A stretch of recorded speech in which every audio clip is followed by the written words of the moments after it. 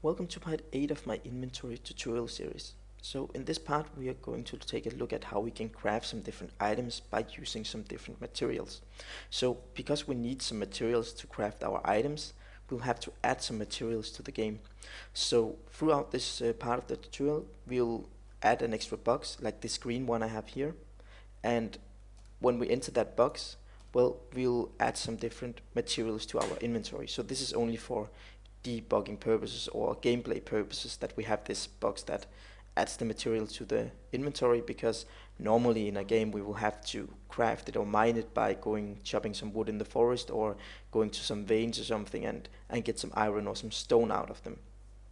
So I have added three different kinds of materials to the game so far um, and these are the three materials we'll be using throughout this tutorial.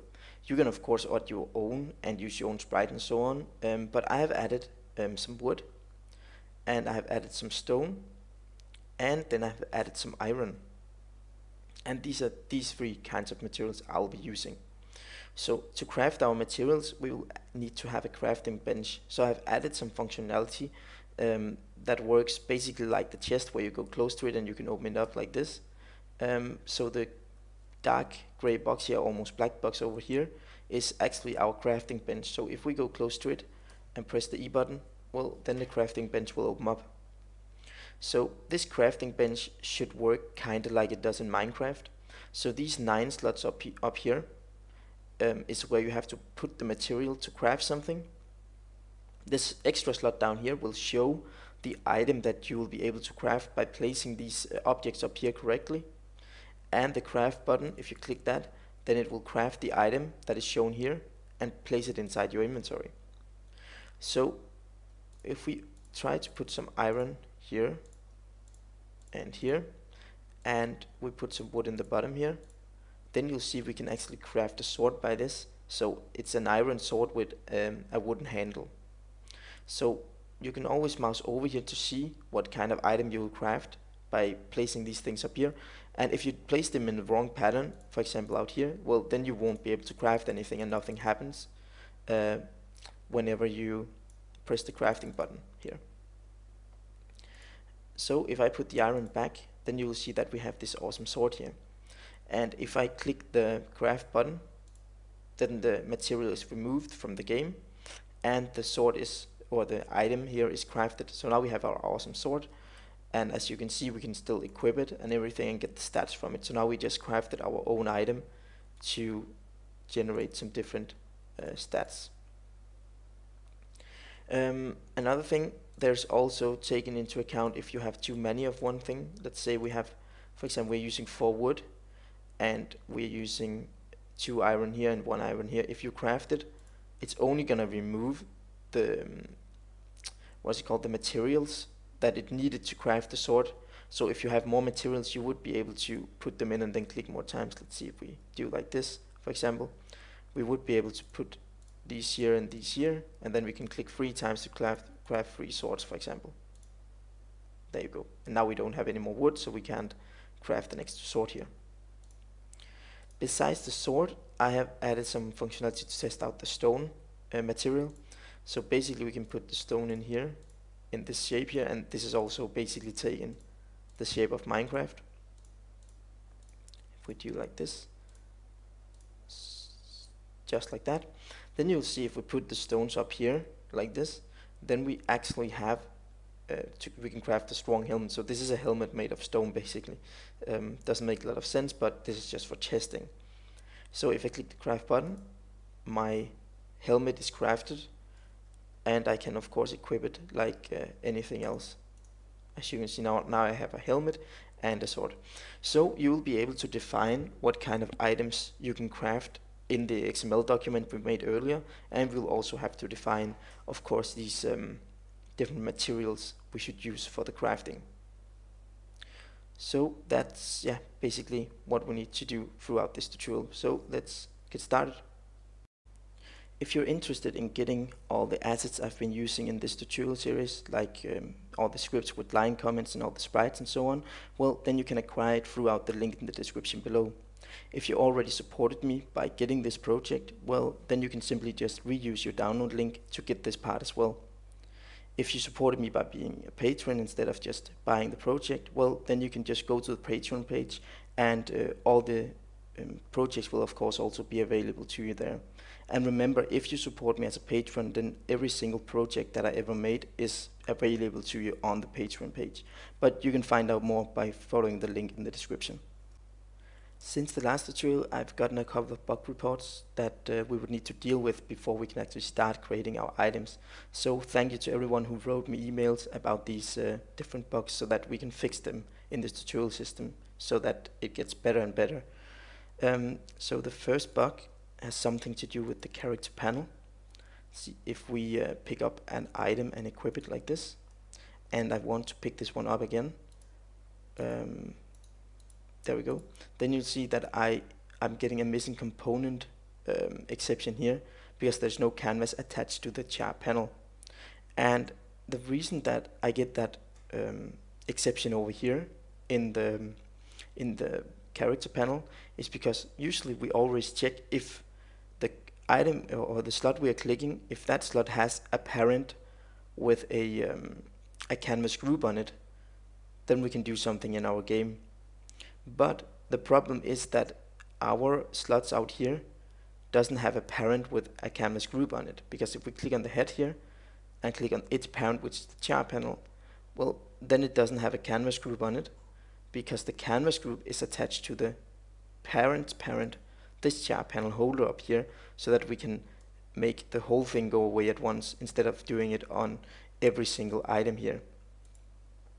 So what we actually have to do is that we have to go to our, uh, either we can take the character panel or the uh, canvas group here and move it to the char panel, or we can simply go to our script and add a couple of lines of code. And I think I'm going to add the lines of code so we don't break anything in here because there's a big chance that we're using this some somewhere because the system is getting kind of complex and I can't remember everything that we've done. So if we would move it maybe we're gonna uh, break something so instead we would have to go to our slot script in here and inside the slot script start function here you'll see that we are saying, well, if transfer of the parent is null, so if the slot we are clicking, if the slot we are creating here um, has parent, well, then we are going to say our canvas group equals transform the parent to get component uh, canvas group. So we're making a reference to the slot's parent's canvas group.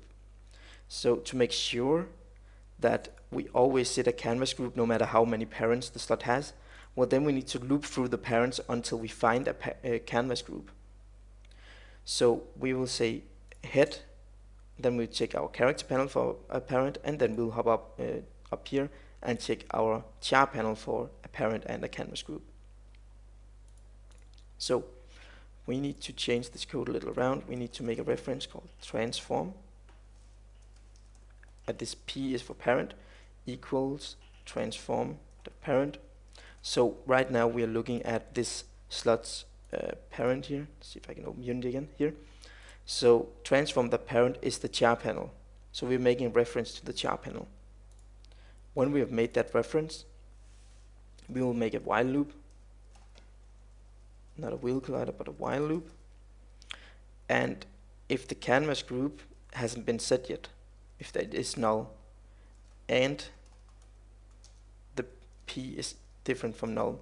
So if, if the slot has a parent and it doesn't have a canvas group, well, then we're going to say canvas group equals p that get component canvas group. So then we're going to try to get the canvas group from the parent. So right now we are trying to get a canvas group from the char panel, which it doesn't have. So under here we're going to say p equals p dot parent. So we just tried to find a canvas group on the char panel, which we don't have, but we're going to change the parent we're going to look at next time the while loop runs to the char panel holder instead. So what we're going to do, we're going to change this one and this line of code we can actually delete to the char panel holder. So next time this while loop runs, the canvas group is still null because we didn't find the canvas group on, on the char panel we were looking at, and the parent is is um, is is not null because we just set it here, and then we're going to check if the if we can set the canvas group to the p.get component canvas, and we in this case we can because the char panel holder has a canvas on it, so we're gonna make a reference to that so that we can use that when we click our different slots now. Then we're going to set p to parent, and next time the canvas, uh, the while loop runs, the canvas group is already set to something, so it's going to break the loop and continue in the rest of the code here. So if we save this and open up here, let's see if we equip an item. And now we don't get that um, exception anymore because we don't have problems with the uh, we don't have any problems with the items um, not having a canvas group anymore or the slots not having a canvas group. So this was just a little fix for using the canvas group because we're using the canvas group when we have uh, when we have to hide the character panel for example and of course we're also using it when we need to check if we can click on the slot to move something around and that's why we got the exception before because all these slots here didn't have a, uh, a canvas group attached to them so that we can move our items from one point to another. So one more bug we would need to address is the fact that we can actually move around our um, inventory when it's closed, as you can see, I can click here and move my inventory around. And if I place my mouse here where I can move it and I close my inventory and I click this button, well, and open it again, then you'll see I was able to move the inventory even though it was closed. So we need to do something so that we can actually not move it whenever it's closed. So we need to go to our inventory script. And we need to find the function called move inventory here on drag here. And basically we can around this move inventory we can make an if statement. So in here we can say if is open then we're going to move the inventory.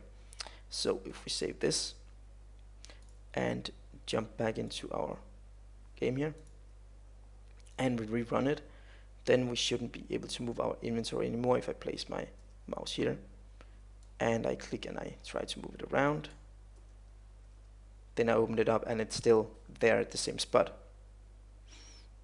So another little thing I would like to address we are not able to move our character panel uh, since we did some changes and everything. And usually we wouldn't want to move the character panel anyway if, if I put my mouse down here and try to move it you'll see that we get this exception here. So maybe we'll deal with this one later um, so that we can move the character panel. It's not really important that we can do it, but I would like to remove this exception here so we don't have that exception anymore um, because we don't want exceptions in our game. So if we click on the character panel here and we look at the event triggers here, uh, the drag script here, you can click on that and just press the minus button here because we now we won't be able to move it anymore. So if we save that and open up the char panel, then we don't get that exception more, anymore if we try to hold down the mouse button and move it around. So now we shouldn't have any more bugs from the last um, tutorial. So we can actually start adding some stuff for the new tutorial. So I'm going to wrap this part up now and in the next part we're going to take a look at how we can generate the different materials from our XML document.